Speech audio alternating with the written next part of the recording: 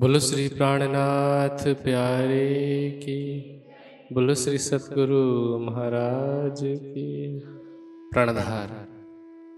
आत्मा संबंधी सुंदर साथ कल की चर्चा में हमने बिहारी जी और श्री जी की मत भिन्नता का प्रसंग सुना कि किस प्रकार अब बिहारी जी ने श्री जी को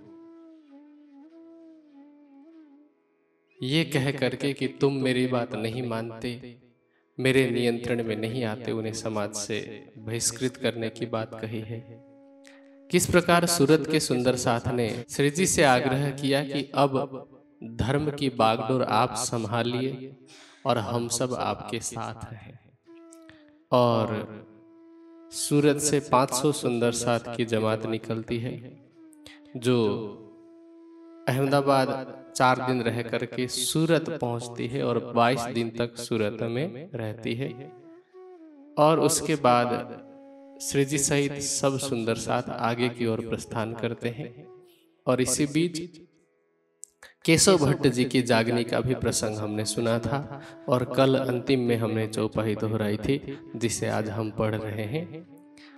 थाना थाप्या सिद्धपुर में केशव भट्ट के घर धाम चर्चा नित हो वहीं साथ रहया पकर साथ रहया पकर। अब सिद्धपुर से मेरते पहुँचे धाय अब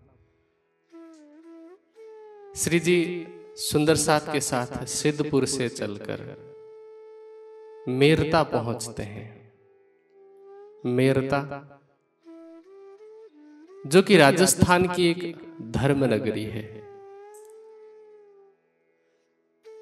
उसका इतिहास बहुत ही पुराना है। स्थान का नहीं हमारे इतिहास में और धार्मिक इतिहास में मेरते का नाम दर्ज है। और जब श्री जी वहाँ पहुँचे हैं तो मेरता में लाभानंद नाम का एक तांत्रिक व्यक्ति रहता था। नाम तो उसका लिखा है लाभानंद यति। यति का अर्थ होता है सन्यासी। पर सन्यासी तांत्रिक नहीं होता है।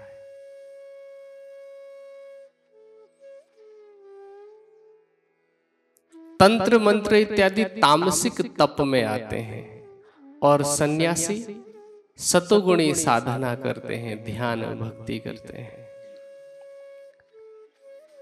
तीन प्रकार की साधना है, तीन प्रकार की तपश्चर्या है। अपनी आत्मा के लिए जो किया जाता है, वो उत्तम है। भौतिक इच्छाओं की पूर्ति के लिए जो किया जाता है, वो मध्यम है। और दूसरों का नुकसान पहुँचाने के लिए जो किया जाता है, वो निकृष्ट है। और लाभानंद अपने तंत्र मंत्र के प्रयोग से लोगों को डरा धमका करके रखता था। कहने को तो यति है पर सन्यासी के कोई लक्षण नहीं थे। सन्यासी कौन होता है? जिसने बहुत अच्छे से समझ करके त्याग दिया हो उसे सन्यासी कहते हैं। जिसे विषय वासनाओं से कोई लेना देना ना हो।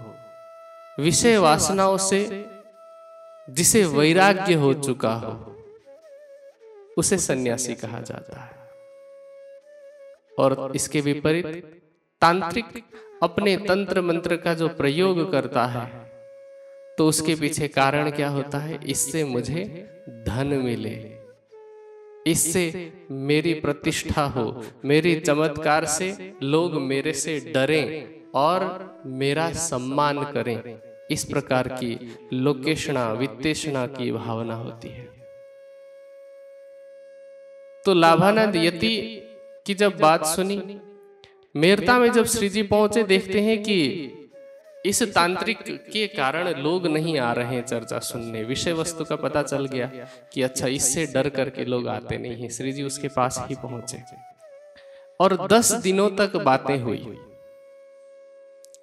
अब वो तांत्रिक जिसे धर्म का कोई गहन ज्ञान नहीं और वैसे भी एक समय था महाभारत से पहले, जब गुरुकुलीय परंपरा प्रचलित थी। वहाँ व्याकरण सहित सांगोपांग वेद का अध्ययन करना पड़ता था और धीरे धीरे मध्यकाल में वेद के अध्ययन का तो लोप हो ही गया। धीरे धीरे करके पहले वेदस्त्रयी का अध्ययन होता था। तीन वेदों का अध्ययन करना अनिवार्य माना जाता था। वेदस्त्रयी का स्थान बाद में ले लिया प्रस्थान त्रयी ने।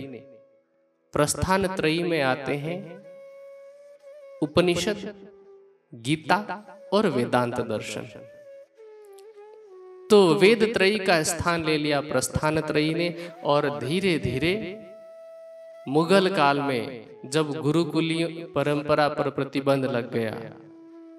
तो अब प्रस्थान त्रयी की शिक्षा भी लोप होती गई। गुरुकुल तो लोप हो ही गए थे। गुरुकुल में जाकर लिए जाने वाले शिक्षा का स्थान किसने लिया? कि कहीं कहीं कोई पढ़ाने वाला है गुरु है। विद्यार्थी उनके घर पर जाते हैं। पढ़ाई करते हैं फिर वापस अपने घर आ जाते हैं। इस परंपरा से पढ़ाई नहीं हो पाती है अध्ययन नहीं हो पाता है। पहले तो ब्रह्मचर्य आश्रम भर विद्यार्थी को गुरुकुल में रहना होता था।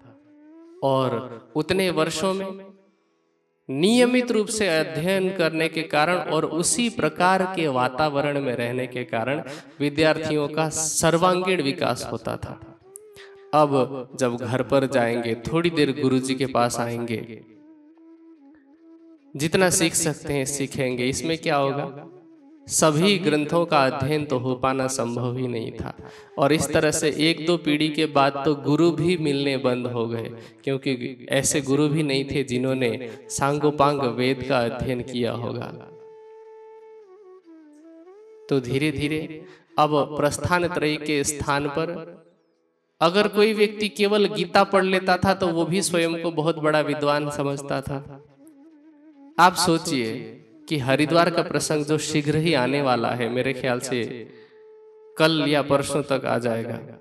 तो हरिद्वार के प्रसंग में हमने देखा कि जो दर्शन के आचार्य श्री जी के सामने शास्त्रार्थ के लिए आते हैं वे सब भी एक एक दर्शन पढ़े हुए थे। और वो आचार्य कहलाते थे श्री जी के साथ शास्त्रार्थ कर रहे जबकि दर्शन एक एक ही पढ़ा था। इसी तरह से आपको पता है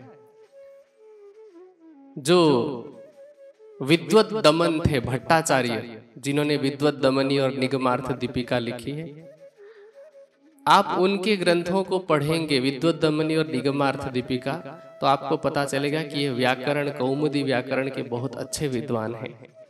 इन्होंने दर्शन भी अच्छे से पढ़ रखा है। विशेष रूप से न्याय दर्शन वैशेषिक दर्शन बहुत अच्छे से पढ़ रखा है। कुछ उपनिषदों का भी ज्ञान है और पुराणों का भी ज्ञान है पर इतने बड़े विद्वत दमन जो कहलाते थे स्वयं को कि यहाँ तक कि वो स्वयं को अवतार घोषित करने वाले थे। अपने समय में इतने बड़े विद्वान माने जाते थे। लेकिन उनके ग्रंथों में एक भी वेद मंत्र नहीं है। विद्वत दमनी और निगमार्थ दीपिका में कहीं पर भी वेद मंत्र का उदाहरण नहीं है। उन्होंने जितने उदाहरण दिए वो वेद के इतर दर्शन और पुराणों के दिए हैं व्याकरण के दिए हैं विष्णु पुराण आदि का दिया है। तो सोचिए कि विद्वत दमनी जैसे भट्टाचार्य जैसे जो विद्वान हैं वो भी वेद नहीं पढ़े थे। इसी तरह जो अपने समय में ये कहते थे कि जिसको मैंने हाँ कहा उसे ना कहने वाला कोई नहीं जिसको ना कहा उसे हाँ कहने वाला कोई नहीं। मुझे आज तक शास्त्रार्थ में कोई नहीं हरा पाया। वे बड़े विद्वान तथा कथित भी भागवत पढ़े थे। गोविंद जी व्यास भागवत पढ़े थे। भीम भाई उस समय के प्रकांड विद्वान माने जाते थे केवल वेदांत दर्शन पढ़ा था उन्होंने। तो इस तरह मध्यकाल में गुरुकुलीय शिक्षा परंपरा का लोप होने से उस प्रकार के विद्वानों का मिल पाना संभव नहीं था। तो धीरे धीरे साधना भी उसी प्रकार की होती गई। वेदों का लोप हुआ, दर्शन, उपनिषद इत्यादि का लोप हुआ। फिर पुराणों का भी लोप हुआ। ये तंत्र साधना इत्यादि तो पुराणों में भी नहीं है। हाँ पुराणों में जो राक्षस इत्यादि थे वो तंत्र की साधना करते थे। तंत्र की साधना करने वाले में किसका नाम आता है? रावण था इस तरह की तपस्या करता था। हिरण्यकश्यप उस प्रकार की तप करता था। वरना आपने किसी भी महापुरुष को देखा हो जो तंत्र मंत्र की साधना करते हो। कोई ऋषि का नाम सुना है आपने? जो तांत्रिक थे ऐसा कोई नहीं थे। पर लाभानंद एक ऐसा यति है अब ज्ञान तो है नहीं। तो दस दिन तक बेचारे क्या करते हैं? एक विषय में बात शुरू होती है थोड़ी देर बात करते हैं लेकिन वो भी बंधन में पड़ जाते हैं क्योंकि श्री जी के प्रश्नों का उत्तर उनके पास नहीं होता है। फिर दूसरे दिन किसी दूसरे विषय पर बात होती है ऐसे करते करते दस दिन तक बात होती है। जगह जगह पर वो बंधन में पड़ जाते हैं चुप हो जाते हैं उनके पास श्री जी के प्रश्नों का कोई उत्तर ही। नहीं तो क्या सोचा कि अब तो मेरी महिमा चली गई। लोग इतने सारे हैं, इतने लोगों के बीच में मैं निरुत्तर हो गया तो अब मेरी तो इज़्ज़त ही चली गई। मैं क्या करूँगा कि मैं इनको ज्ञान में तो नहीं हरा पाया, अब तंत्र के द्वारा, मंत्र के द्वारा मैंने जो सिद्धि प्राप्त की है, भूत प्रेतों को अपने वश में कर रखा है तो मैं उनके द्वारा इनको बड़े बड़े पत्थरों से चट्टानों से दबा करके मरवा दूँगा भूतों के द्वारा। और क्या कहते हैं? मारो दाब के पहाड़ में इनको डारो उल्टाए सब दैत्यों के मंत्र से भांत भांत किए उपाय। जो भी उनके पास मंत्र इत्यादि सिद्धि कर रखी थी उनसे तरह तरह के उपाय करते हैं। लेकिन क्या होता है? घर पर्वत उठो नहीं तब हार के बैठा ठोर जहाँ पंच वासना सब देव खड़े तहां मंत्र चले क्यों और? जिस अक्षरातीत की सेवा में पंच वासना सहित समस्त देवी देवता है। सोचिए कि वो अक्षरातीत जिसके सत अंग के इच्छा मात्र से पल भर में ऐसे करोड़ों ब्रह्मांड बनते हैं। ये ब्रह्मांड कितना बड़ा है? इतने विशाल ब्रह्मांड में, जहाँ पर आप यदि प्रकाश की गति से यात्रा करेंगे, तब भी एक छोर से दूसरे छोर पर पहुँचने में एक अरब प्रकाश वर्ष लगते हैं। तो जिस परब्रह्म की सत अंक की इच्छा मात्र से इतने बड़े ब्रह्मांड का निर्माण होता है उस परब्रह्म की लीला जिस तन में हो रही है, उसे इस संसार का एक साधारण सा तांत्रिक दबाने की कोशिश कर रहा है, मारने की कोशिश कर रहा है। उसे बेचारे को पता ही नहीं कि मैं किसके सामने अपने मंत्र का प्रदर्शन कर रहा हूँ। आज सुंदर साथ भी डरते हैं। और डर करके कभी किसी देवता के पास जाते हैं, कभी किसी तांत्रिक के पास जाते हैं। कोई परेशानी होती है तो कहते हैं कि हम इनके पास जाएँगे। तो विश्वास का क्या हुआ राज्य के प्रति? तंत्र मंत्र क्या है? मंत्र में कोई इस प्रकार की शक्ति नहीं होती है। शक्ति होती है आपके मन में। और मंत्र क्या करते हैं? उस शक्ति को चैनलाइज करते हैं, क्योंकि कोई आधार मिलता है ना। मन को एकाग्र कैसे किया जाए तो मंत्र को बार बार दोहराया जाता है। एक निश्चित नियम के आधार पर जो आपका दृढ़ संकल्प होता है, आपका वो दृढ़ संकल्प ही काम करता है। और वो भी सकारात्मक हो तो काम करेगा। हाँ नकारात्मक दृढ़ संकल्प भी काम करता है, क्योंकि मन में शक्ति तो है। मन दोधारी तलवार है। इससे आप इस तलवार से आप दुश्मन के गर्दन भी काट सकते हैं, खुद की गर्दन भी काट सकते हैं, क्योंकि दो धार है। नकारात्मक चिंतन करेंगे तो आप दूसरे का भी नुकसान करेंगे। लेकिन सोचिए, जो दूसरों के ऊपर अंगारा डालता है, हाथ तो उसके भी काले होते हैं, हाथ उसके भी जलते हैं। तो ये नकारात्मक साधना है। तो मंत्र इसी प्रकार होते हैं। देखिए, आपके पास तो राज्य ने तारतम ज्ञान दिया है। जिसके पास तारतम ज्ञान है उसको किसी भी तंत्र मंत्र से डरने की कोई आवश्यकता है ही नहीं। लेकिन क्या चाहिए? दृढ़ विश्वास। यदि दृढ़ विश्वास नहीं है फिर तो आपको कैसा भी मंत्र दिया जाए उस मंत्र का कोई लाभ ही नहीं होगा। किसी भी मंत्र का फल कैसे घटित होता है?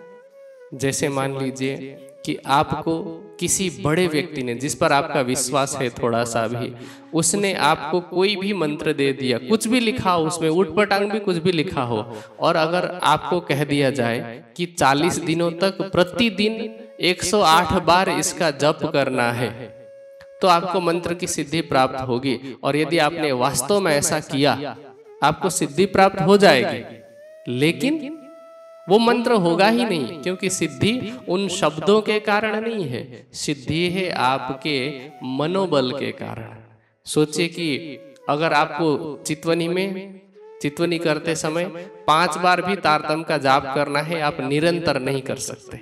इस बात की तो मैं गारंटी दे सकता हूँ।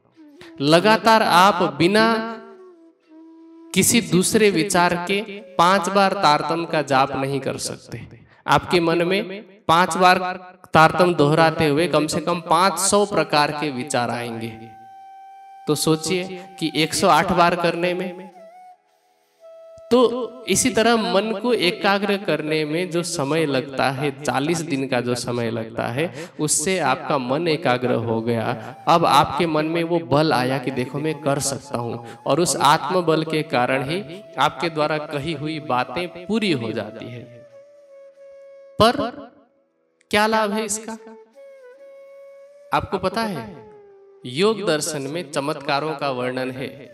योग दर्शन में चार पाद है, जिसमें एक पाद का नाम है विभूति पाद।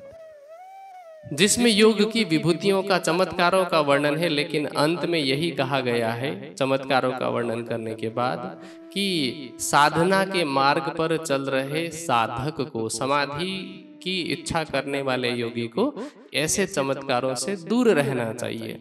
ब्रह्मवाणी क्या कहती है? साधो कहर कही करामात, ए दुनिया तित रांचे। दुनिया को तो चमत्कार अच्छी लगती है, पर जो सच्चे साधु हैं, उनके लिए चमत्कार कहर के समान है। दुखद है।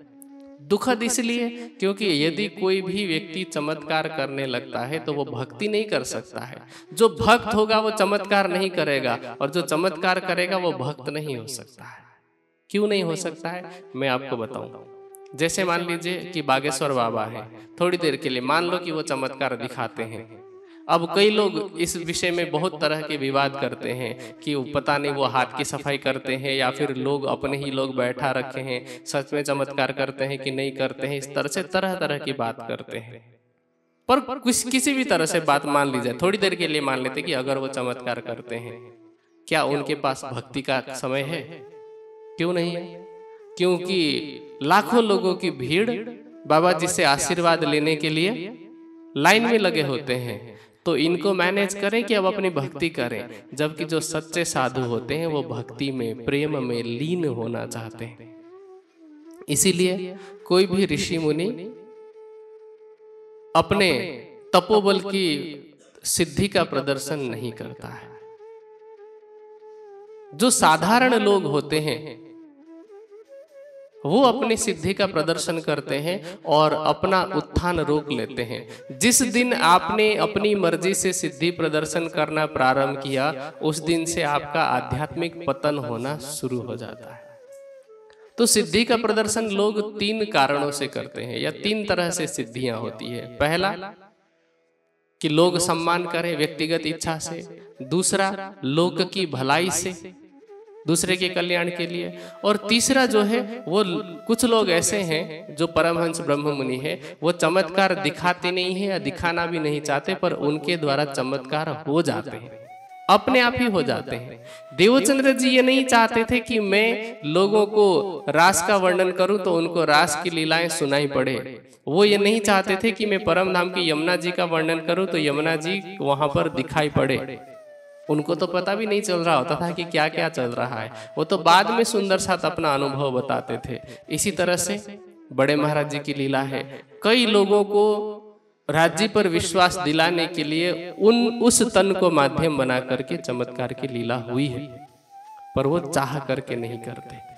एक बार उन्होंने अपनी मर्ज़ी से कर दी थी।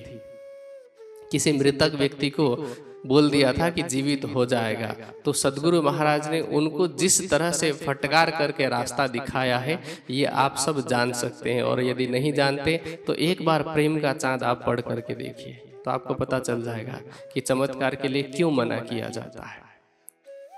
और सुंदर साथ को विशेष रूप से ये तांत्रिकों से मांत्रिकों से डरने की आवश्यकता नहीं है। इसीलिए नहीं है। क्योंकि इनके पास जो मंत्र है वो तो कुछ भी नहीं है। आपके पास तो कितना बड़ा मंत्र है? सोचे देवचंद्र जी के पास तारतम ज्ञान नहीं था केवल भजमन श्री वृंदावन कुंज बिहारी नित्य विलास इतना मंत्र था। सबलिक तक के स्वरूप का मंत्र था लेकिन फिर भी उन्हें बिच्छू का जहर उतारने का मंत्र दिया जाता है तो वो मना कर देते हैं कहते हैं कि नहीं मुझे नहीं चाहिए। और आपके पास कैसा मंत्र दिया है राज जी ने? वैसे केवल यह मंत्र नहीं है पर यदि मंत्र के रूप में मानते हैं तब भी तारतम है। और तारतम कैसा है? यही रस तारतम का चढ़िया जहर उतारे निर्विख काया करे जीव जागे करारे। ये तो माया का जहर उतारने वाला। एक बार किसी गाँव में एक सन्यासी आए।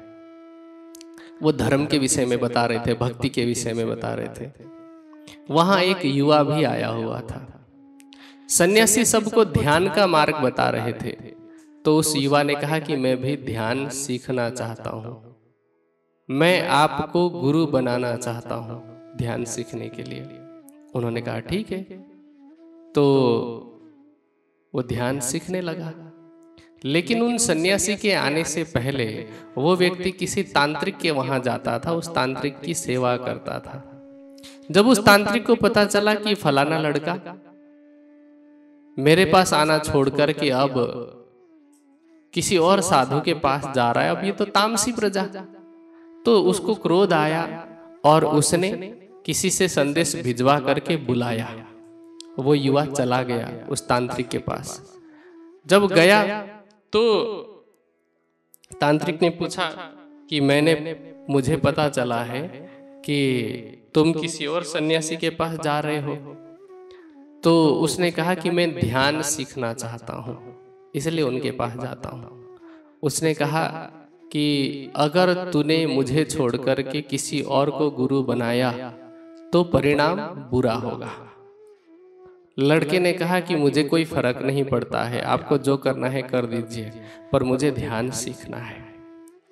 और वो लड़का अपने जो नई गुरु थे, सन्यासी गुरु, उनके पास चला गया और जा कर के कहता है कि, गुरुदेव, मुझे फलाने तांत्रिक ने धमकी दी है, मारने की धमकी दी है और उसने कहा है कि मैं तुम पर मारण क्रिया का प्रयोग करूँगा। ये तांत्रिकों के बीच में ये क्रिया होती है। जिसके विषय में वो कहते हैं कि उस क्रिया का प्रयोग करके वो किसी को मार भी सकते हैं। अब इसमें सत्यता कितनी है? प्रैक्टिकली तो मेरे सामने अब तक कोई बात नहीं आई पर मैंने कई लोगों से कई तांत्रिकों से भी सुना है कि ऐसा हो सकता है। और बड़े महाराज जी की जीवनी में प्रेम के चाँद में भी ऐसा प्रसंग एक आता है। तो उन सन्यासी ने कहा कि अच्छा डरने की ज़रूरत नहीं है तुम परमात्मा का ध्यान करो ना तुम्हें किससे डरना है तो कहते हैं कि अभी तो मुझे परमात्मा का ध्यान करना आया ही नहीं है, मैंने सीखा ही नहीं। तो कहते हैं अच्छा ठीक है, तुम मुझे तो पहचानते हो तो तुम मेरा ध्यान करो। जब वो मारण क्रिया का प्रयोग करेगा, तुम्हें अंदर से थोड़ी सी भी घबराहट सी महसूस होगी तो तुम मेरा ध्यान करना। अब वो जो सन्यासी थे, वो तो पहुँचे हुए संत थे, अच्छे। तो उस तांत्रिक ने मारण क्रिया प्रारंभ की इस लड़के को थोड़ी बेचैनी शुरू हुई। उसने अपने गुरु का ध्यान करना शुरू किया। अब गुरुदेव को पता चला कि मेरा जो शिष्य है वो संकट में है। उन्होंने आँख बंद करके परमात्मा का ध्यान करना प्रारंभ किया। तो क्या हुआ? शिष्य का संबंध गुरु से जुड़ा हुआ है गुरु का संबंध परमात्मा से जुड़ा हुआ है।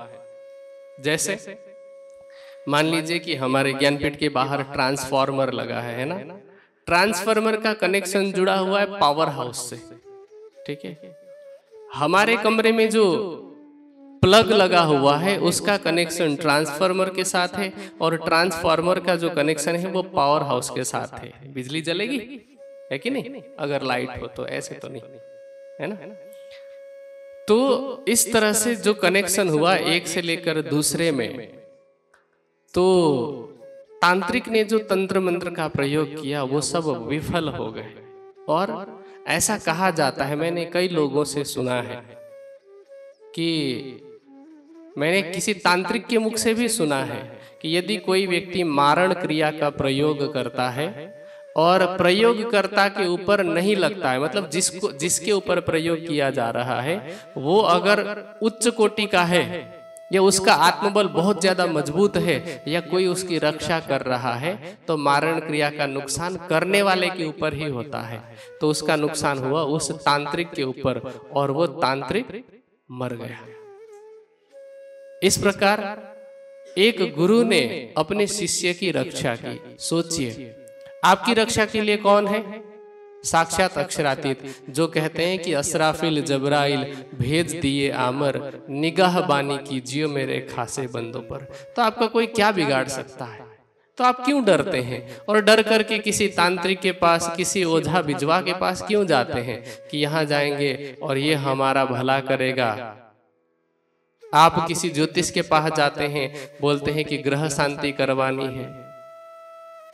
जब अशुभ हरण मंगल करण कह दिया तो अशुभ का हरण हो जाएगा। लेकिन आपके दिल में विश्वास तो हो।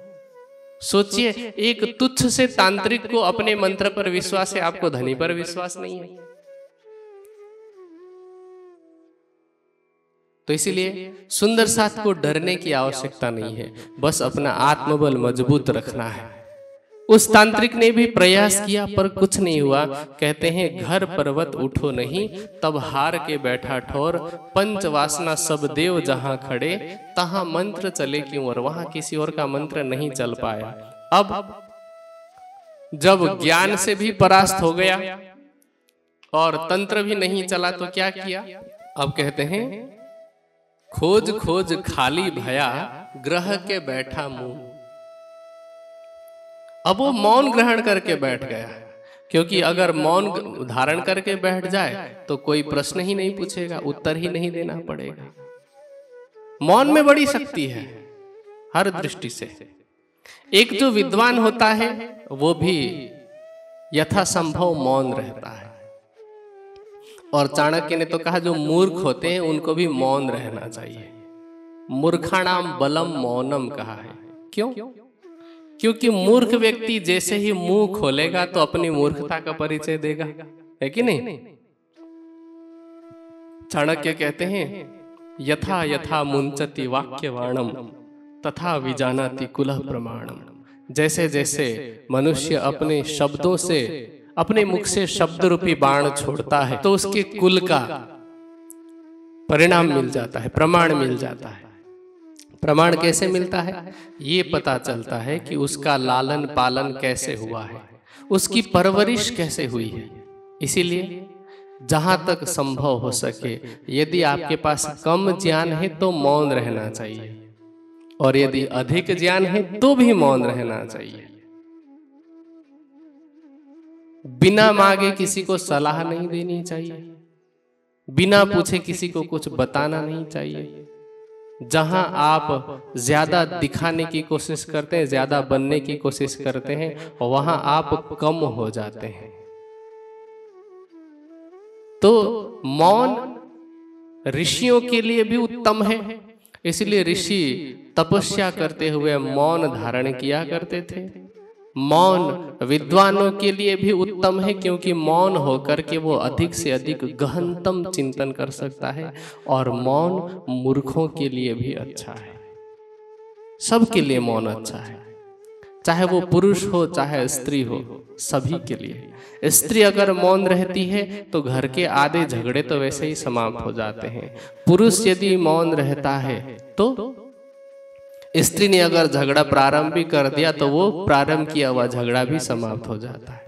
मौन में बड़ा बल है। अब यहाँ उसी मौन का प्रयोग करके वो चुप होकर के बैठ गया। लेकिन पूरे शहर को पता चल गया कि कोई संत महात्मा आए हैं जिन्होंने लाभानंद यति को मौन धारण करा दिया है। अब लाभानंद यति का जो डर था पूरे मेरता शहर में वो डर समाप्त हो जाता है। और जैसे ही डर समाप्त होता है लोग इस तरह से आते हैं जैसे रानी मधुमक्खी के पास कितने म, म, कितनी मधुमक्खियाँ होती है। इसी तरह पूरे शहर के लोग मधुमक्खी के छत्ते की तरह आकर के इकट्ठा होते हैं कहते हैं सोर पड़िया शहर में आवत सब खलक घेर रहे मधमाखी ज्यो कोई आए बीच हक। अब इस प्रकार लोग आने लगते हैं और उन्हीं आए हुए लोगों में जो तारतम्य ज्ञान ग्रहण करते हैं, जो सुंदर साथ में शामिल होते हैं, उनका नाम बता रहे हैं। चांपसी है, रघुनाथ है। ये परिवार के साथ में श्री जी के साथ आगे चलते हैं, मेरता से जब श्री जी जाते हैं। और एक परिवार था अग्रवालों का, जो व्यापारी था। जिनमें राजाराम, झांझन भाई और मकरंद, ये तीन प्रमुख थे।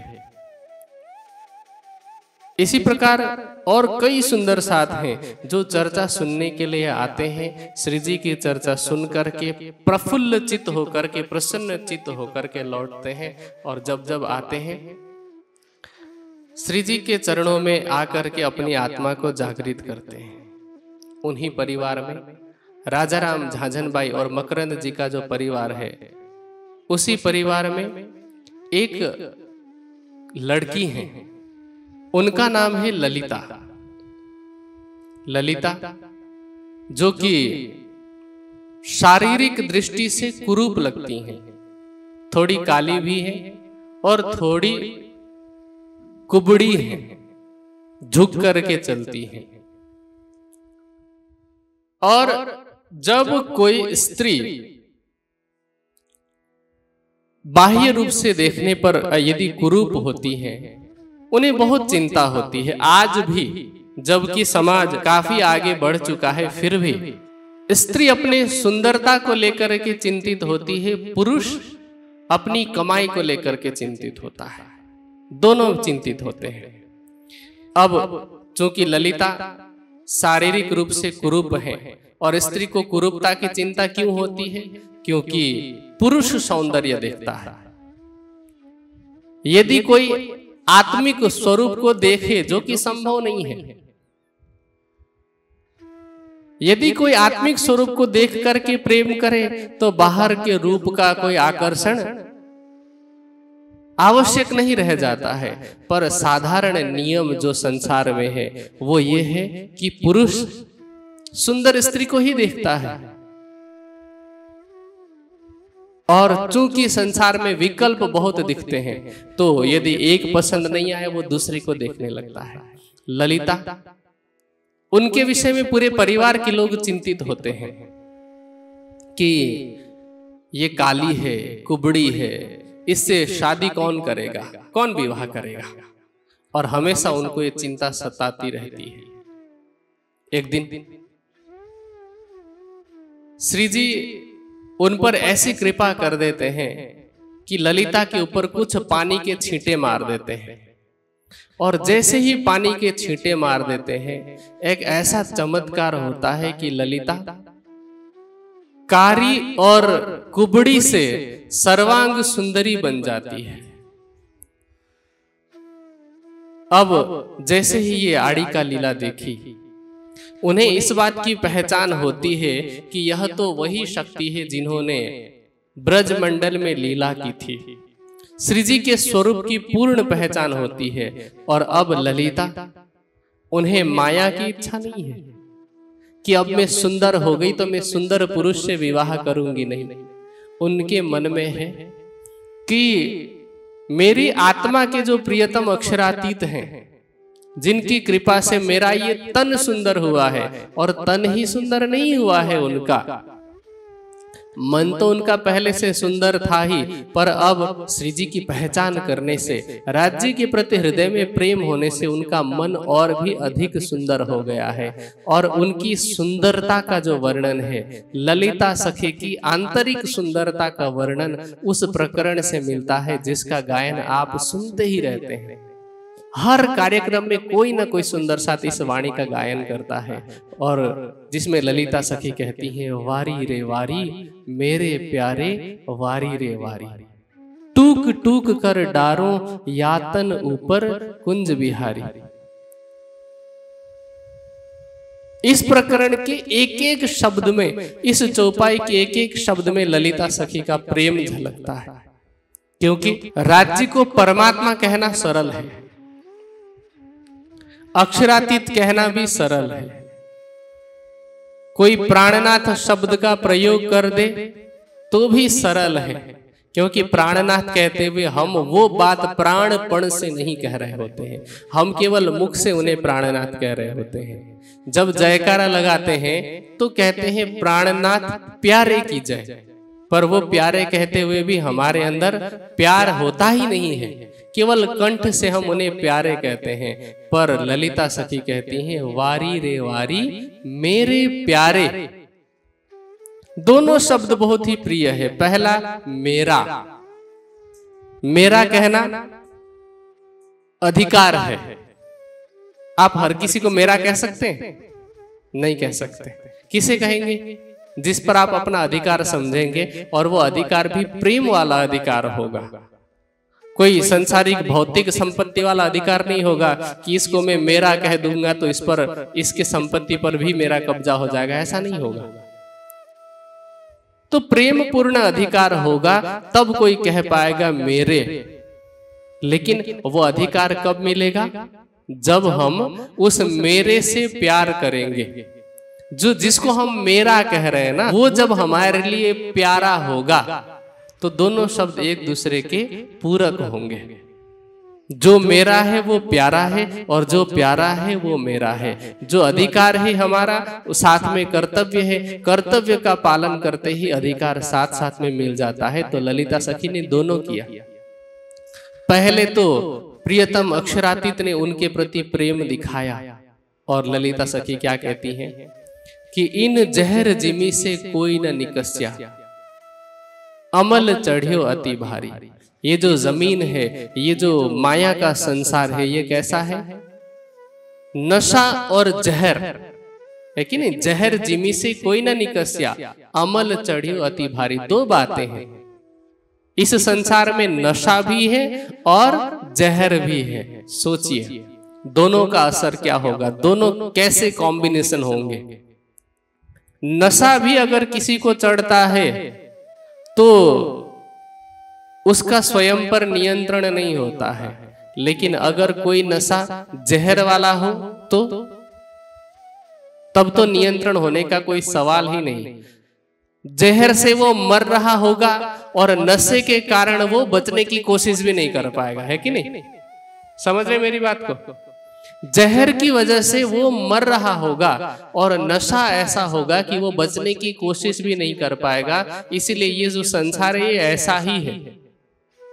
विषय वासनाओं का नशा है, जो कि जन्म और मृत्यु के बंधन में लेकर के जाने वाली है। और नशा ऐसा है कि इस नशे से छूटने के लिए कोई प्रयास ही नहीं कर पाता है क्योंकि प्रयास तो तब कर पाए जब होश में हो क्योंकि ये तो नशे में है।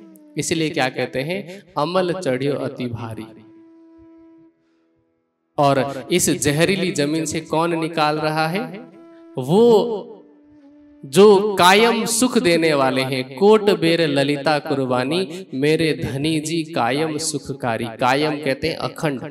अखंड। का सुख देने वाले जो मेरे धाम धनी हैं वो उन पर मैं ललिता करोड़ों बार कुर्बान जाती हूँ जिन्होंने मेरे केवल शरीर को ही सुंदर नहीं बनाया। शरीर को सुंदर तो उनकी आत्मा की सुंदरता को देख करके हुआ ना।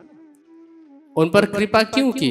क्योंकि ये परम धाम की ब्रह्मात्मा है और इस कारण से दुखी है उस दुख का निवारण किया और उसके बाद ललिता सखी ने माया की तरफ़ नहीं देखा।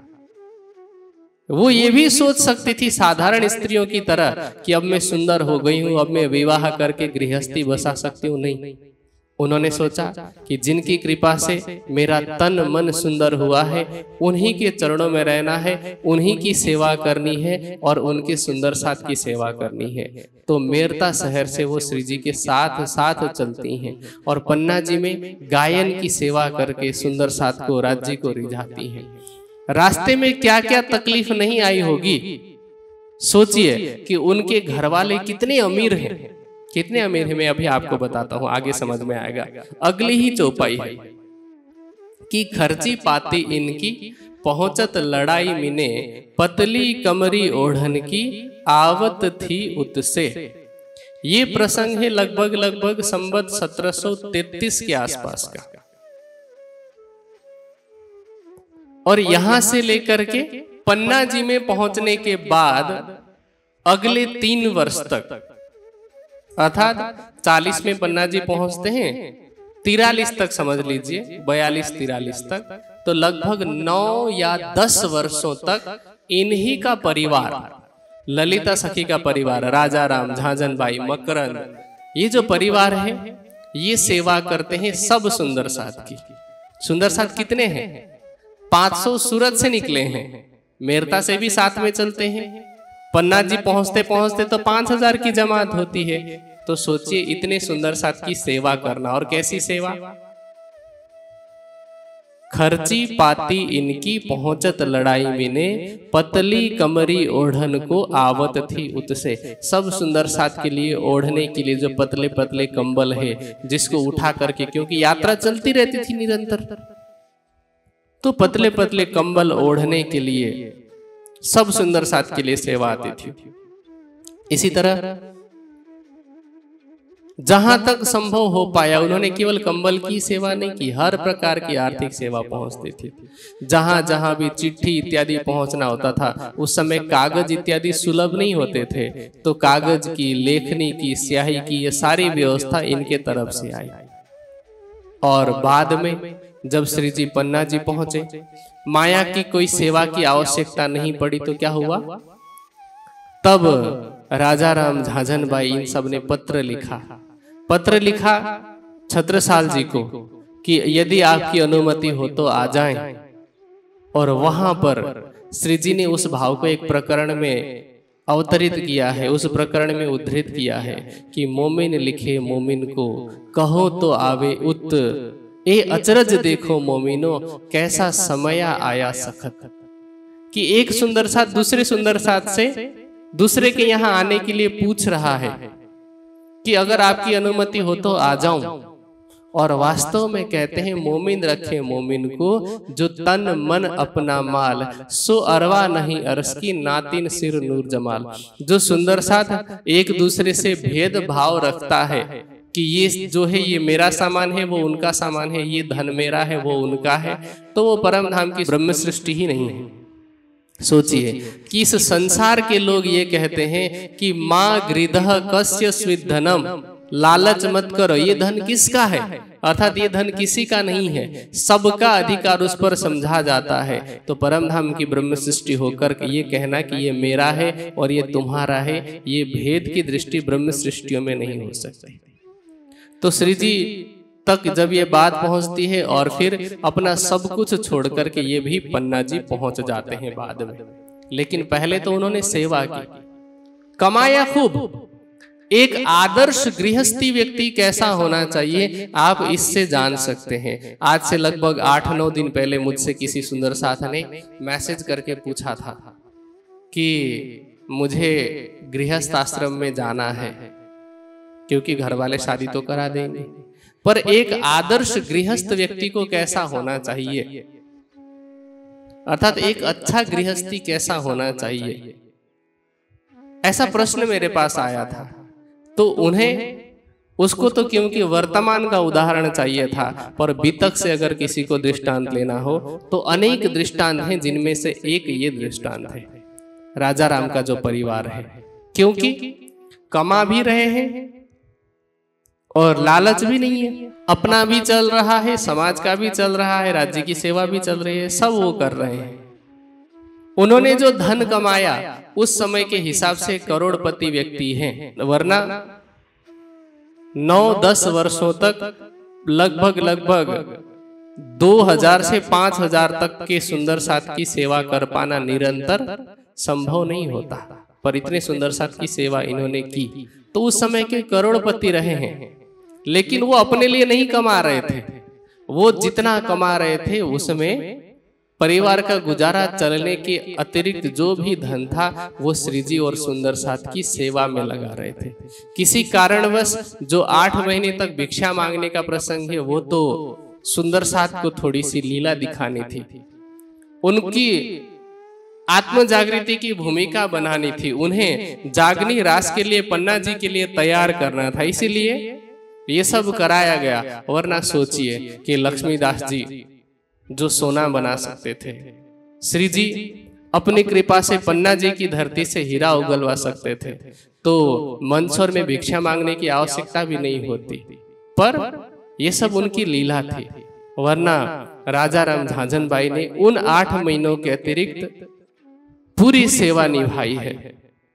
इस प्रकार अब मेरता में बहुत बड़ा शोर मच गया कि इस तरह से लाभानंद यति भी परास्त हो गया है और शहर के जो बड़े उद्योगपति व्यवसायी हैं वो भी श्री जी के चरणों में विश्वास लेकर के आए हैं तारतम ज्ञान ग्रहण करके आए हैं। तो अब सब लोगों में ये बात फैल गई कि ये जो साधु है वो बहुत बड़े हैं। इस प्रकार अब वहाँ जागने की लीला होती है। इसी क्रम में श्री जी ने मेरता में ही रहते हुए क्योंकि अब उनके मन में क्या चल रहा है औरंगज़ेब तक संदेश पहुंचाना है। औरंगज़ेब के विषय में थोड़ा सा जान लेते हुए प्रसंग में आगे बढ़ने से पहले। शाहजहां के चार पुत्र हैं। वैसे तो मैं पहले भी संक्षेप में बता चुका हूँ शुरू शुरू के दिनों की चर्चा में। चार भाई हैं, दारा शिकोह औरंगज़ेब, मुराद और शुजा। जिनमें से दारा सिको बड़ा था। पर राज्य पाने के लिए औरंगज़ेब ने पहले तो मुराद और शुजा के साथ मिलकर के दारा सिको को मारा। और उसके बाद फिर मुराद और शुजा को भी मरवाया, अपने पिता को भी मरवाया। और उसके बाद उसने हिंदुओं पर इतने अत्याचार किए जितना कि शायद ही किसी और ने किया हो। बहुत सारे मंदिर उसने तोड़े तीर्थ स्थानों को खंडित किया। ऐसा कहा जाता है। बात सुनने में आती है कि कुछ लोग कहते हैं कि जब तक औरंगज़ेब हिंदुओं का सवा मन जनेऊ उतरवा नहीं लेता था तब तक वो भोजन नहीं करता था। वैसे तो ये बात पूरी तरह से प्रामाणिक नहीं है, क्योंकि सवा मन जने हूँ अगर प्रतिदिन उतारना हो तो कम से कम भी कई हज़ार लोगों का प्रतिदिन जनेऊ उतरवाना पड़ेगा। ये संभव नहीं है। पर फिर भी कुछ निश्चित संख्या में वो धर्म परिवर्तन करता ही था, स्वयं को गाजी कहलाता था। एक तरफ़ वो बहुत अधिक कठोर था हिंदुओं के प्रति और दूसरी तरफ़ अपने अपना जो विश्वास था उसके लिए भी कठोर था। कुछ लोग कहते हैं कि औरंगज़ेब अपने हाथ से कुरान लिखता था। और उस कुरान को बेच करके और बेचना ऐसा नहीं कि राजा ने लिखा है तो नीलामी करवाए जाए नहीं। जो निश्चित कीमत थी उसी कीमत पर वो बेचता था। अब कल ही में पढ़ रहा था औरंगज़ेब के इतिहास के विषय में। उसने जो अंतिम पत्र लिखा था, उस अंतिम पत्र में ऐसा वर्णन आता है कि कुरान बेच बेच करके उसने लगभग उस समय के 300 कुछ रुपए जमा किए थे। और कुछ पैसे जमा किए थे टोपी इत्यादि सिल करके। और उसने अपने पत्र में लिखा था, अंतिम इच्छा लिखी थी। कि मेरे लिए कफन की जो व्यवस्था है, वो मैंने जो टोपी सिल करके कमाई है, उसी में से की जाए। और मैंने जो कुरान लिख करके इतने रुपए इकट्ठे किए हैं, उन पैसों को संतों, जो सूफी फकीर होते हैं, उन फकीरों में, गरीबों में बांट दिया जाए, या फिर उन लोगों को दिया जाए उन लोगों के कफन में खर्च किया जाए जिनको कफन नसीब नहीं होती। अब किसी दृष्टि से देखने पर ऐसा प्रतीत होता है कि ये बहुत ही क्रूर है। दूसरी दृष्टि से देखने पर ऐसा भी लगता है कि देखो कुछ कुछ मामलों में तो सिद्धांतवादी है। पर सैद्धांतिक होने में और क्रूर होने में दोनों में अंतर है। अपने चीज़ों में वो सिद्धांत में हो सकता है कि कठोर है। पर वास्तव में उसने जितना हिंदुओं पर अत्याचार किया सोचिए जजिया कर लगाया उसने त्योहारों पर कर लगाया चोटी धारण करने पर कर लगाया।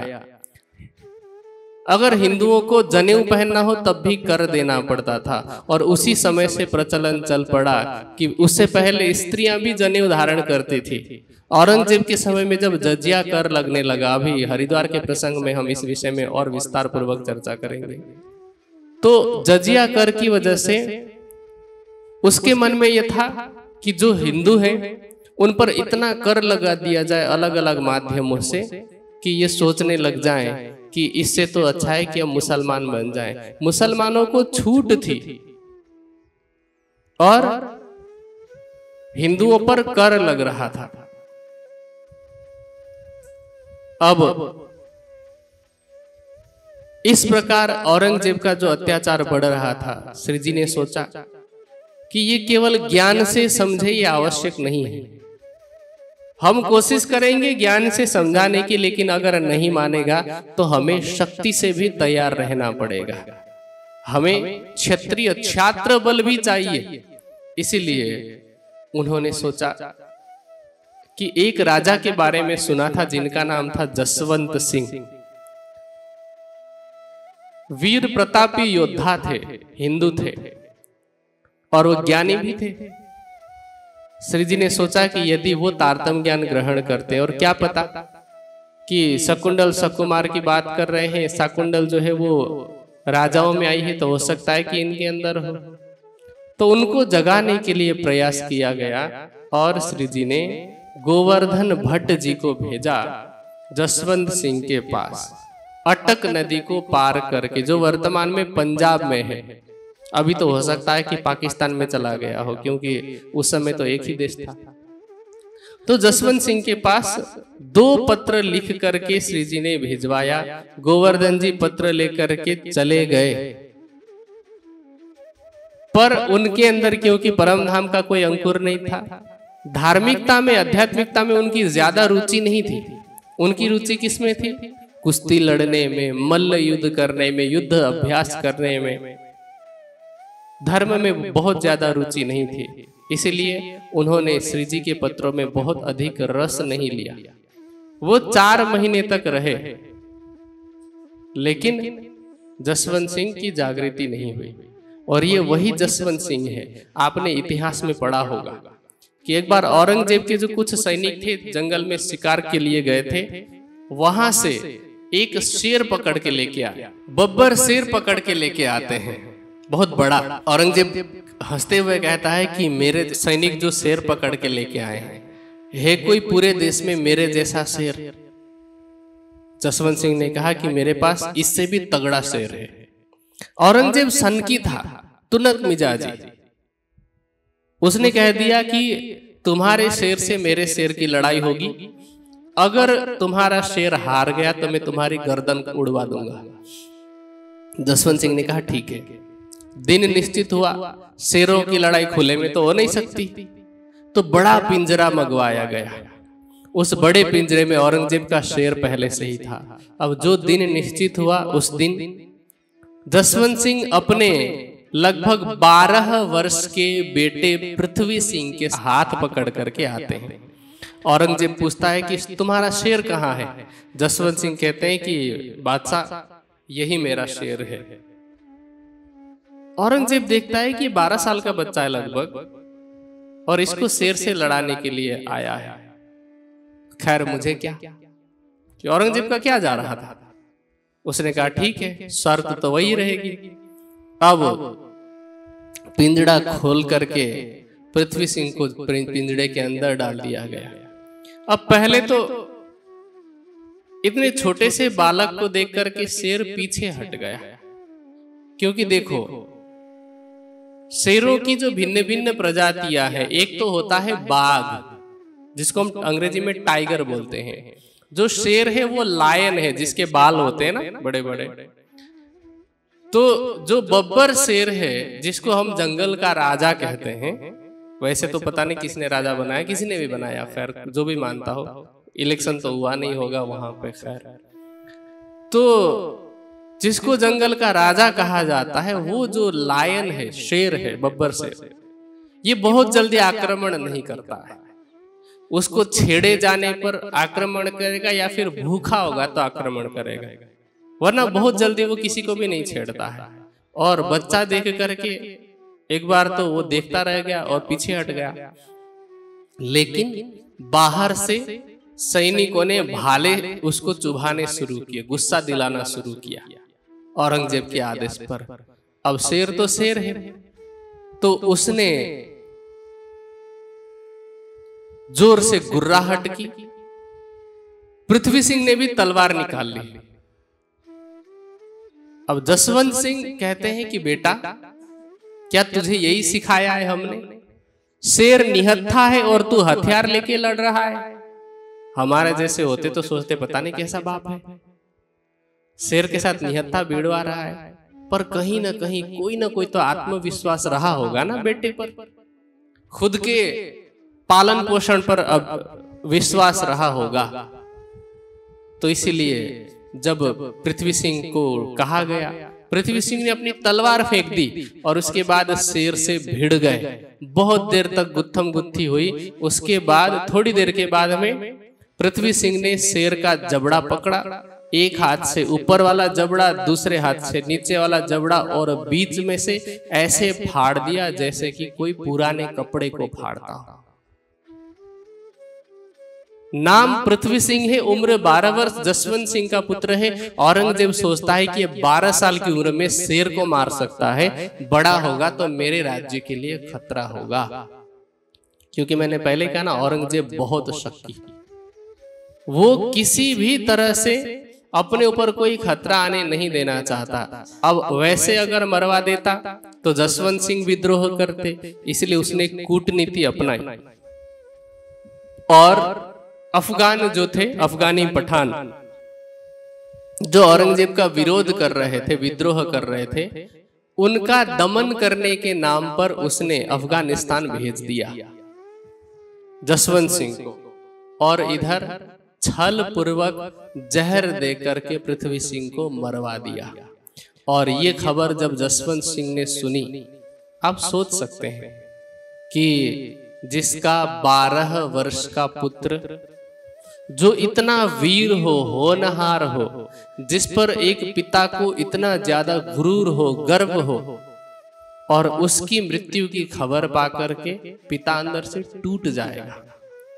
जसवंत सिंह भी अंदर से टूट गए। उसका सदमा उनको इतना ज़्यादा लगा कि वो उससे उबर नहीं पाए और उनकी भी बीमारी से मृत्यु हो गई। तो ये वो जसवंत सिंह है और वो औरंगज़ेब है। दोनों के विषय में जानना आवश्यक है। इसके लिए थोड़ा सा आपको इतिहास पढ़ने की आवश्यकता है। हमारे बीतक में केवल जसवंत सिंह को संदेशा भिजवाने का प्रसंग है हाँ क्योंकि आध्यात्मिकता नहीं थी और परम धाम का अंकुर नहीं था तो उन्होंने श्री जी के स्वरूप की पहचान नहीं की। अब इधर श्री जी अभी मेरता में ही है। मेरता में जब है एक दिन रास्ते में चल रहे थे तो वहाँ एक मस्जिद थी। मस्जिद की मीनार पर चढ़ करके एक मुल्ला ने आवाज़ दी। जिसको कलमा कहते हैं ना कुछ लोग बांग देना कहते हैं पहले बोलते थे। तो उसने आवाज़ दी और कहा ला इलाह इल्लाह मुहम्मदुर रसूलुल्लाह। श्री जी साहब ने ये बात सुनी। तो उन्होंने विचार किया इस विषय पर कि इसका अर्थ क्या है। ला का अर्थ होता है नहीं इलाह का अर्थ होता है। है। और इलिल्लाह का अर्थ होता है कि जो इल्लाह से भी जो परे है अलग है। कहते ला का अर्थ नहीं इसका मतलब हो गया कि जिसको गीता में क्षर ब्रह्म कहा गया है या क्षर पुरुष कहा गया है। इलाह जो सत्य है सत्ता का स्वरूप है। जिसको गीता अक्षर कहती है कुटस्थ अक्षर उच्चते और इलिल्लाह जो है वो है अक्षरातीत। तो इसका मतलब क्या हो गया? ला इल्लाह इलिल्लाह कह करके क्षर अक्षर और अक्षरातीत की बात की। तो श्री जी कहते हैं कि देवचंद्र जी ने जो बात कही थी कि देखो कुरान में भी बातें तो वही लिखी है। पर मुसलमानों में जो कट्टरता है सांप्रदायिक कट्टरता जिसके कारण वो किसी और को कुरान पढ़ने नहीं देते थे। अब श्री जी ने जब ये बात सुनी, बात सुनते सुनते उनके हृदय में अब कतेब पक्ष का ज्ञान प्रकाशित हो गया। कुरान की सारी बातें उनके अंदर से खुलने लगी। कभी कभी लोग बात कहते हैं कि यहाँ से अक्षर ब्रह्म की आत्मा ने प्रवेश किया और कुरान के रहस्य श्री जी खोल पाए। ऐसा कहना कहीं ना कहीं नादानी है। नादानी क्यों? क्योंकि वाणी के आधार पर। जो नब्बे हज़ार हरूफों में बात हुई वो किस किस के बीच में हुई? राज्य और अक्षर के बीच में? अक्षर की सूरता जब आई मोहम्मद साहब के रूप में तो आयतें लेकर के आने वाला कौन है? वो शक्ति कौन सी है? जिसको हम जोश की शक्ति कहते हैं जिब्रिल कहते हैं कि नहीं? तो क्या कुरान का ज्ञान कहने के लिए अक्षर का होना ज़रूरी है। जबराइल कह सकता है कि नहीं कह सकता। है राज्य कह सकते हैं कि नहीं कह सकते। जिन्होंने बात की, वो भी उस तन में विराजमान है। जो बात लेकर के आया, आयतें लेकर के आया, वो भी विराजमान है। तो ये ज़रूरी नहीं है कि अक्षर ब्रह्म जब तक नहीं आते, तब तक कुरान का ज्ञान नहीं कहा जा सकता। वास्तविकता यह है कि हर कार्य का एक उचित समय होता है। कहते हैं ना कि माली सींचे सौ घड़ा ऋतु आवे फल होए। इससे पहले आवश्यकता ही नहीं थी। पर अब क्योंकि दिल्ली जाना है औरंगज़ेब को समझाना है कि औरंगज़ेब तू धर्म के नाम पर जो कर रहा है वेशभूषा भाषा के नाम पर जो कर रहा है वो कुरान के आधार पर ही गलत है। मोहम्मद साहब ने ऐसी कोई शिक्षा नहीं दी है। तो अब आवश्यकता है इसीलिए प्रकट हो रहा है। तो यहाँ से अब अक्षर ब्रह्म की भी लीला प्रारंभ होती है और उन्हें महामती की शोभा मिलती है। महामती किसे कहते हैं? और ये महामती की शोभा किसको मिली है? इंद्रावती जी की आत्मा को प्राणनाथ जी महामती नहीं है। किसको शोभा मिली है? श्री धनी जी को जोश।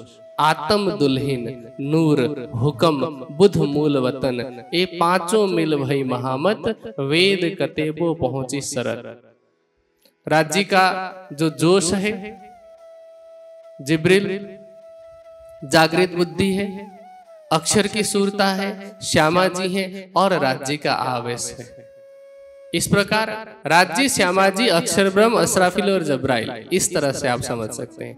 तो ये जो पाँचों शक्तियाँ मिल करके, उन्हें महामती की शोभा मिलती है। इससे पहले श्री देवचंद्र जी के द्वारा दिया गया ज्ञान ही प्रकट हो रहा था। हिंदू पक्ष की ही चर्चा चल रही थी, पर यहाँ से कतेब पक्ष की भी चर्चा चलती है। और अब क्या कहते हैं कि कहो एक दीन आदम। मानव मात्र का जो धर्म है, एकमात्र धर्म, उसकी आगे बात होगी। केवल सांप्रदायिक हिंदू पक्ष की बात नहीं होगी केवल कट्टर मुसलमानों की बात नहीं होगी। जो भी बात होगी वो कैसी होगी? संपूर्ण मानव मात्र के कल्याण के लिए जो बात होगी वो होगी। क्योंकि संप्रदाय के नाम पर भाषा के नाम पर वेशभूषा के नाम पर जो भी भेद है वो कैसा है? ये भौगोलिक है। लेकिन परब्रह्म इन सब के बंधन में नहीं है। परमात्मा भाषा के बंधन में नहीं है। एक हिंदू ये सोचता है कि मैं संस्कृत सीखूँगा तो परमात्मा को जान जाऊँगा। तो भी गलत है। मुसलमान सोचता है कि परमात्मा को जानने के लिए पाने के लिए अरबी सीखना ज़रूरी है। वो भी गलत है। परमात्मा किसी भाषा के बंधन में नहीं है। ये सभी भाषाएँ तो बाद की है। हाँ वेद देववाणी है। संस्कृत जो है वो देववाणी है देव भाषा है। सृष्टि के प्रारंभ में आया है। पर परमात्मा से बात करने के लिए आपको संस्कृत भी नहीं चाहिए। हाँ वेद समझने के लिए चाहिए। न ही परमात्मा से बात करने के लिए आपको अरबी का ज्ञान होना ज़रूरी है। भले ही आपको अरबी आती हो नहीं आती हो पर परमात्मा को तो वो तो बिना बोले आपकी बात समझ जाता है। क्या उसके धाम में कोई विशेष भाषा है? क्या अरबी है वहाँ पर? अरबी भाषा कहाँ से आई होगी? कहीं ना कहीं से तो आई ही होगी। सबसे पहले संस्कृत भाषा थी वैदिक संस्कृत। वैदिक संस्कृत से लौकिक संस्कृत बनी। लौकिक संस्कृति से पाली और प्राकृत भाषा का निर्माण हुआ। फिर जैसे जैसे लोग अलग अलग जगहों पे जाते गए भौगोलिक परिस्थितियाँ बदलती गई दूर दूर होते गए भाषाएँ भी थोड़ी थोड़ी बदलती गई। एक कहावत कही जाती है कि कोष कोष पर बदले पानी चार कोष पर बानी। चार कोष पर भाषा बदल जाती है। एक ही संस्कृत भाषा को अलग अलग स्थान पर अलग अलग रूप से बोला जाता है। पर भाव तो वैसा ही होता है और वही जहाँ अलग अलग रूपों से बोली जाती है तो धीरे धीरे हम उस भाषा को बदल देते हैं। जैसे मान लीजिए कि हर भाषा में संस्कृत के कोई ना कोई शब्द मिलेंगे। हर भाषा में। इसका मतलब क्या हुआ? कि संस्कृत सभी भाषाओं की जननी है। यहाँ तक कि जैसे मुसलमान नमाज़ कहते हैं ना मैंने अभी कुछ दिन पहले ही एक मुस्लिम प्रवक्ता से ही सुना था कि नमाज़ जो शब्द है वो संस्कृत का है। उन्होंने संधि विच्छेद करके बताया एक शब्द है नम नम। मतलब झुकना। और अज किसको बोलते हैं? अज मतलब बकरा नहीं। अज का अर्थ होता है जो ब्रह्म अजन्मा है। अजन्मा होने की वजह से वो अज है। तो उस ब्रह्म के सामने झुकना नमाज़ कहलाता है। ये मेरा कथन नहीं है। ये अरबी के विद्वान हैं जिन्होंने ये बात कही है। तो हर भाषा में संस्कृत के शब्द मिलते हैं। आप अंग्रेज़ी में देख लीजिए। जैसे संस्कृत में पुत्री को बेटी को कहा जाता है दुहिता। दुहिता। का जब आप रूप चलाते हैं तो दुहितर होता है। दुहितर को अगर कोई अंग्रेज़ व्यक्ति बोलेगा तो वो द को ड बोलता है। तो वो डुहिटर होगा। फिर वहाँ से अपभ्रंश होते होते वो डॉटर बन जाता है। आप सोचिए कि हम संस्कृत में दरवाजे को द्वार कहते हैं। अब जब द को वो ड उच्चारण करते तो द्वार को द्वार बोलेंगे। वहाँ से डुअर हुआ है। दरवाजे को वो क्या बोलते हैं? डुअर बोलते हैं? हम संस्कृत में रास्ते को पथ कहते हैं। कहते हैं कि नहीं? पथ। अंग्रेज़ी में वो पाथ कहते हैं। समझ रहे? ठीक है। एक धातु है संस्कृत में। डुक्रिय करणे जिससे क्री शब्द बनता है। उसका धातु रूप चलता है करोति कुरुतः कुरवंती। इसका मतलब होता है क्री का अर्थ होता है करना। उससे हिंदी में करने आ गया डू क्रिय करने से। और अंग्रेज़ी में चला गया डू। डू। मतलब करना ठीक है? पितर से फादर बना मातृ से मदर बना। इस तरह से संस्कृत से। संस्कृत के आपको एक नहीं सैकड़ों शब्द मिल जाते हैं अंग्रेज़ी में। इसी तरह से हर भाषा में आप खोज करेंगे। हमारी पुस्तकालय में एक पुस्तक है, एक ग्रंथ है, इसका नाम है वैदिक संपत्ति। इसे आप एक बार पढ़ के देखिए, पता चलेगा कि हर भाषा की जो जननी है, वो संस्कृत है। पर परमात्मा संस्कृत से भी नहीं पाया जाता है। हाँ संस्कृत सीखना हमारे लिए आवश्यक है, क्योंकि संस्कृत में ही धर्म ग्रंथ का गुह्य ज्ञान है। वेदों के रहस्य को आपको समझना है संस्कृत जानना आवश्यक है। उपनिषदों में जो उच्च आध्यात्मिक बातें की है दर्शनों में उसके लिए संस्कृत जानना अनिवार्य है। लेकिन कोई ये कहे कि मैं संस्कृत सीख लिया तो मैं परमात्मा को प्राप्त करूँगा तो नहीं संस्कृत केवल माध्यम है भाषा है जानने का पाने का माध्यम नहीं। है जानने में और पाने में अंतर होता है। तो श्री जी ने सरल हिंदुस्तानी भाषा में, ब्रह्मवाणी में, वेद पक्ष और कतेव पक्ष दोनों के रहस्य को खोला। और क्या कहा?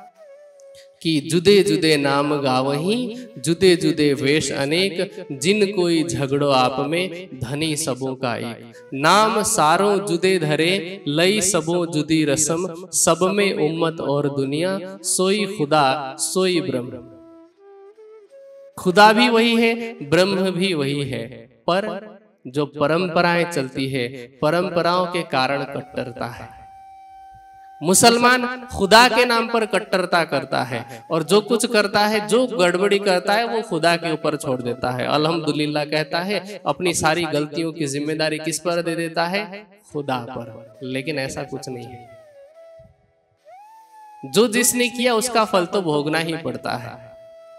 और जो मुसलमान ये कहते हैं कि तुम इस्लाम के लिए कुछ भी कर सकते हो, तुम ये करो, वो करो। वास्तव में कुरान में ऐसा कुछ नहीं लिखा है। कुरान में ये बात स्पष्ट रूप से लिखा गया है कि तुम जिस प्रकार का करते हो, उसका फल तुम्हें मिलता है। और यहाँ के जो मुसलमान हैं, वो समझ नहीं पाते। अरब के मुसलमान इस चीज़ को और अच्छे से समझते हैं। अरब के मुसलमानों में तो छोटी छोटे कामों के लिए भी बहुत बड़े बड़े दंड का प्रावधान है। वहाँ चोरी करने पर हाथ काटने का प्रावधान है। किसी दूसरे की परिस्थिति का संगत करने पर इसी प्रकार के अंग भंग का प्रावधान है। छोटी छोटी गलतियों पर मृत्यु दंड का प्रावधान है। पत्थर मार मार करके हत्या करने का प्रावधान है और वहाँ तुरंत होता है। और यहाँ के मुसलमान जो आधा अधूरा ज्ञान रखते हैं, वो सरिया कानून लाने की बात करते हैं। क्योंकि उन्हें ज्ञान नहीं है। वास्तव में शरीयत में भी जो बात लिखी गई है वो इस तरह से कट्टरता की बात नहीं है। उसमें ये बात है कि परमात्मा की इबादत कैसे की जाए प्रार्थना कैसे की जाए? एक इंसानियत का व्यवहार किस प्रकार से की जाए? अपना जीवन यापन किस प्रकार से की जाए? इस प्रकार की बातें हैं शरा में।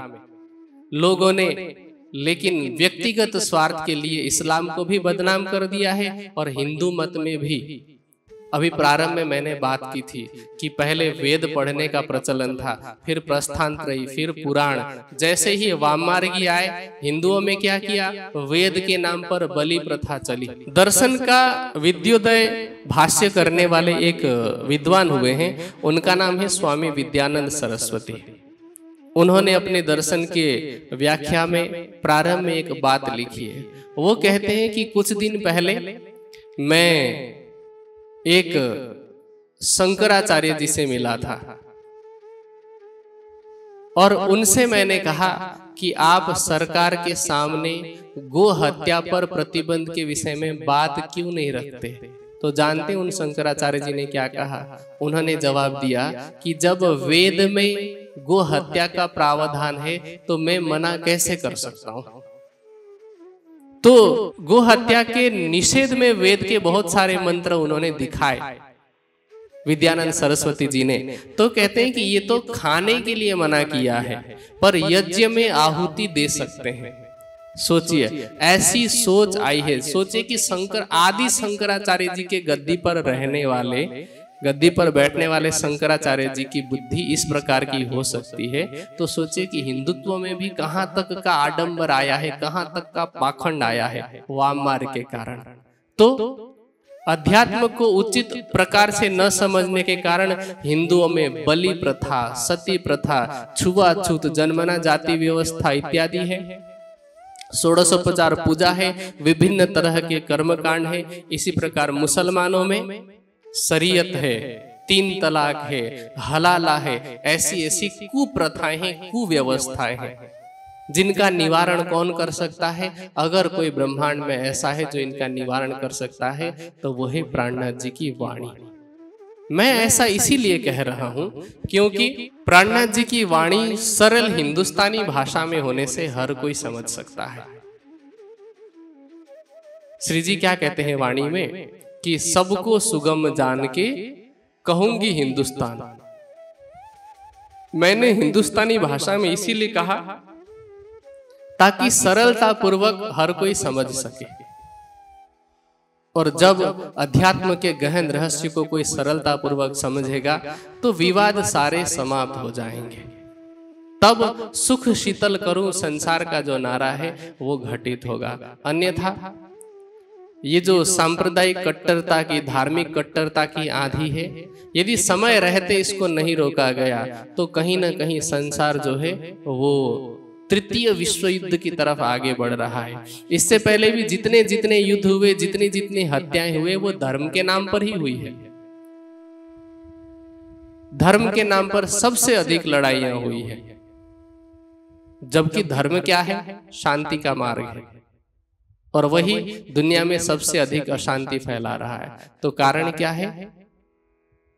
मूल विषय के ज्ञान का अभाव। तो प्राणनाथ जी क्या कहते हैं? कहो एक दिन आदम आदम अर्थात मनुष्य। सभी मनुष्यों का एक धर्म स्थापित होगा। आज तो क्या है? अवस्था। कहते हैं कि मानने वाले जो राम के उन्हें इस्लाम से बु आती है।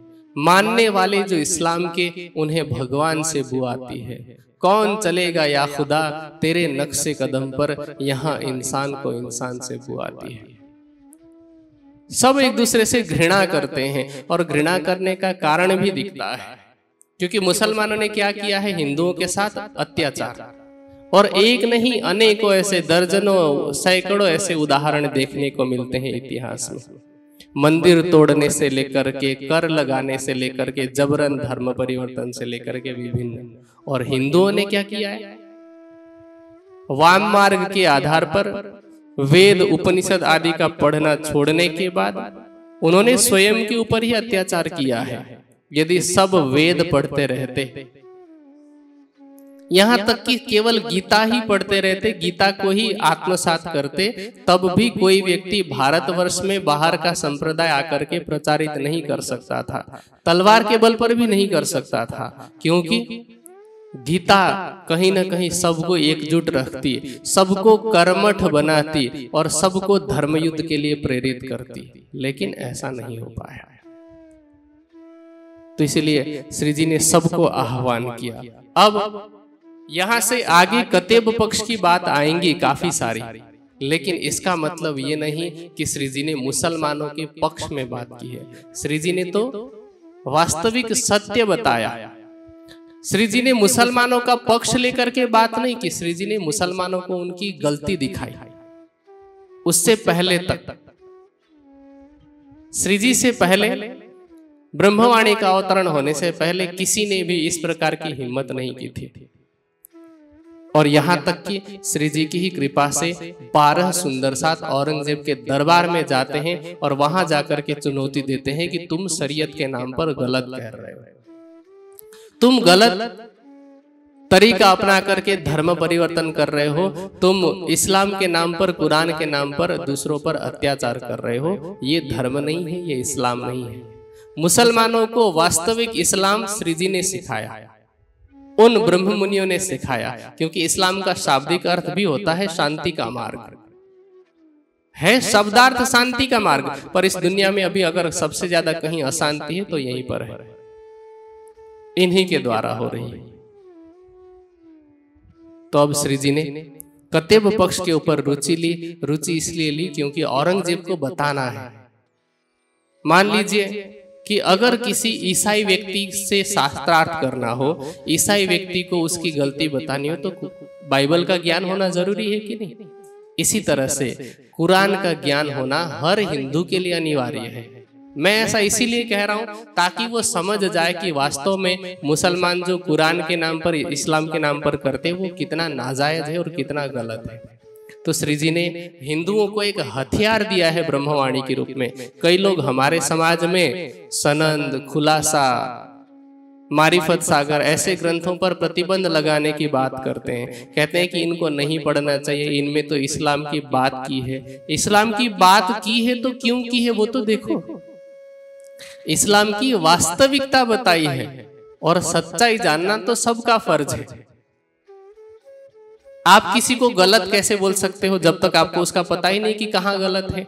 मान लीजिए कि आपने कह दिया कि तुम तो गलत इस्लाम को मानते हो वो कहेगा कि कहाँ पर बताओ? आपके पास ज्ञान ही नहीं होगा तो कैसे बताओगे? इसीलिए श्री जी ने हिंदुओं को खुलासा, सनंद, मारिफत सागर, कयामत नामा के रूप में हथियार दिए हैं। अगर कोई सुंदर साथ इसको बहुत अच्छे से पढ़े तो हर मुसलमान से बात कर सकता है कि तुम यहाँ पर गलत हो। इसीलिए इन ग्रंथों का अवतरण हुआ है। अब क्योंकि अभी तो अवतरण नहीं हुआ है, आगे जाने के बाद होगा। मैंने तो उसकी थोड़ी सी भूमिका बताई। अब श्री जी ने आकर के लालदास जी को ये बात बताई। लालदास जी से कहते हैं कि, लालदास, आज राज्य के मूल स्वरूप की कृपा से मेरे मन में ये बात आई। मेरे हृदय में ये बात प्रकट हुई कि कुरान में तो मूल रूप से देखा जाए तो परम धाम की बातें हैं जिसे उपनिषद दिव्य ब्रह्मपुर कहते हैं उसे ही कुरान अर्श आज़म कहता है। जिसे चौदह लोक कहा गया है उसे वो चौदह तबक कहते हैं। इसी तरह से कुरान में परम धाम के हौज को सर की बात है रंग महल की बात है अक्षर अक्षरातीत की बात है क्षर ब्रह्म की बात है। लेकिन मुसलमान उसको गुप्त रखते हैं और अर्थ का अनर्थ करते हैं। इसलिए मुझे लगता है कि अब हमें औरंगज़ेब के पास जाना चाहिए और उसके पास जाकर के सबसे पहले उसे वास्तविकता बतानी चाहिए। अगर हम उसे वास्तविकता बताएँगे तो हिंदुओं पर जो अत्याचार होगा वो बंद हो सकता है। और श्री देवचंद्र जी ने तो पहले ही शकुंडल और सकुमार के आने की बात की थी। कहीं ऐसा प्रतीत होता है कि ये इसी में है। सकुमार की आत्मा इसी में है। ये विचार करके अब श्री जी मेरता से सुंदर साथ से विदा लेते हैं और विदा लेकर के गोकुल पहुँचते हैं। गोकुल से मथुरा और मथुरा से आगरा होते हुए आगरा में कुछ दिन ठहरते हैं और पहुँचते हैं दिल्ली। अब दिल्ली में जो सुंदर साथ सूरत से साथ में चल रहे थे, वो तो थे ही, पर उससे पहले ठट्ठा नगर में जो जागनी हुई है, वहाँ से भी कुछ सुंदर साथ आकर के मिलते हैं, जिनका नाम यहाँ पर वर्णित है। ईश्वर दास है मलुक चंद है। इसी प्रकार दिल्ली में चर्चा करते समय शेख बदल जी जो मुस्लिम है, पर श्री जी की चर्चा सुनने आते हैं। इसी प्रकार अनंत राम है। तुलसी, बिहारी दास, मुकुंद दास जिन्होंने सूरत में तारतम लिया था, वो भी श्री जी के चरणों में आते हैं। मेरते से रामचंद्र आते हैं। कुछ दिनों तक श्री जी की संगत में रहते हैं। उसके बाद पुनः वापस लौट जाते हैं। इस प्रकार जो गोवर्धन जी अटक गए थे जसवंत सिंह की जागनी के लिए वो भी वापस लौट आते हैं और लाल दरवाजे में आकर के गंगाराम की दुकान पर ठहरते हैं। गंगाराम की दुकान में उन्होंने सबसे पहले तो क्योंकि जहाँ जहाँ भी जाते हैं अच्छे लोग जहाँ जाते हैं वो अपनी सुगंधी फैलाते हैं। तो गोवर्धन जी गंगाराम की दुकान पर ठहरे हैं उन्हीं को प्रबोधित करना प्रारंभ करते हैं। अब गंगाराम जी ने तारतम ज्ञान ग्रहण किया, गोवर्धन जी से। और फिर गंगाराम जी ने आशाजीत वकील को ये बात सुनाई, जिनको ये बात अच्छी लगने लगी। हाँ ये अलग बात है कि बाद में उनका विश्वास जो है वो डावाडोल हो जाता है। इस प्रकार आशाजीत, फिर सुख महाजन, इन सब की जागनी होती है गोवर्धन जी के द्वारा। और इस तरह से वो जागनी कर रहे हैं। एक दिन दिल्ली में एक जो उर्दू बाज़ार है, वहाँ घूम रहे होते हैं तो वहाँ गरीबदास जी मिलते हैं। अब गरीबदास जी तो सुंदर सा थे उनको गोवर्धन जी पहले से ही पहचान रहे हैं। जाकर के पूछते हैं कि श्री जी कहाँ पर है। तो उन्होंने श्री जी का पता दे दिया कि विठल गौर के यहाँ किसी सैयद की हवेली में श्री जी ठहरे हुए हैं। अब गोवर्धन जी जहाँ ठहरे हुए थे, अपने निवास स्थान पर वहाँ जाते हैं। गरीबदास जी अपने स्थान पर आते हैं और श्री जी को खबर दे देते हैं कि गोवर्धन जी अटक पार से आ गए हैं। इस प्रकार गोवर्धन जी अब उन्होंने जिन जिन की जागनी करी है उन सब सुंदर साथ को लेकर के श्री जी के चरणों में आते हैं और इनकी जागनी और साथ में अटक के पार जहाँ गए थे जसवंत सिंह उनके यहाँ जो जो भी बात होती है वो सारी बात बताते हैं। इस प्रकार उस हवेली में श्री जी छह महीने तक रहते हैं। छह महीने वहाँ रहने के बाद दिल्ली में ही लाल दरवाजे में पहुँचते हैं और वहाँ आकर के अब औरंगज़ेब के लिए चिट्ठी लिखते हैं। और उन चिट्ठी में 22 प्रश्न लिखे जाते हैं। अब उस प्रश्न को किस किस ने मिलकर के लिखा? उन प्रश्नों में क्या क्या बातें लिखी? औरंगज़ेब जैसे कट्टर मजहबी उन्माद लिए हुए व्यक्ति तक संदेश पहुँचाने की हिम्मत किस प्रकार की। यहाँ योजना बनाते बनाते अब श्री जी हरिद्वार पहुँचे आगे। हरिद्वार पहुँच करके वहाँ पर क्योंकि महाकुंभ का मेला लगने वाला होता है तो महाकुंभ का मेला क्या है? क्यों लगता है? कितने वर्षों में लगता है? वहाँ पर इतने बड़े बड़े जो साधु संत आए होते हैं उनके साथ श्री जी का शास्त्रार्थ होता है। सभी संप्रदायों के आचार्य शास्त्रार्थ में हार मान के उनको विजय अभिनंद बुद्ध निष्कलंक स्वरूप मान लेते हैं। ये जो सारी बीतक है किस प्रकार घटित होती है इनको सुनेंगे हम कल अभी के लिए समय पूरा होता है दिल्ली तक पहुँचे हैं हम अभी के लिए चौपाई दोहराते हैं इन हवेली में आप मास छह रहे। तहां से लाल दरवाजे को ले चला उत के। ले चला उत के। बोलो श्री प्राणनाथ। बोलो श्री सदगुरु महाराज।